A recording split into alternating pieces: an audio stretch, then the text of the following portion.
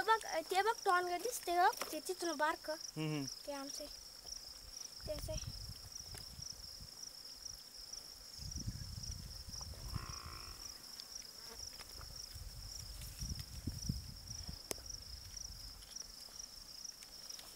काढायला हे पहा.